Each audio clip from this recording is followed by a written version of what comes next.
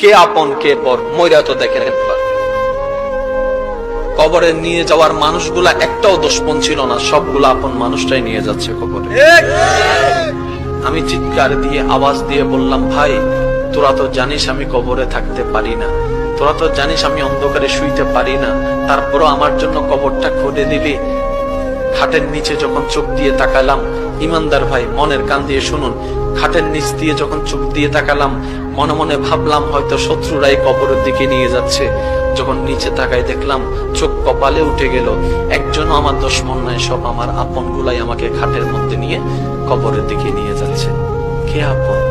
কে আপন? প্রশ্ন করতে থাকুন নিজেকে কে আপন? কে আপন? উত্তর আপনি পাবেন না।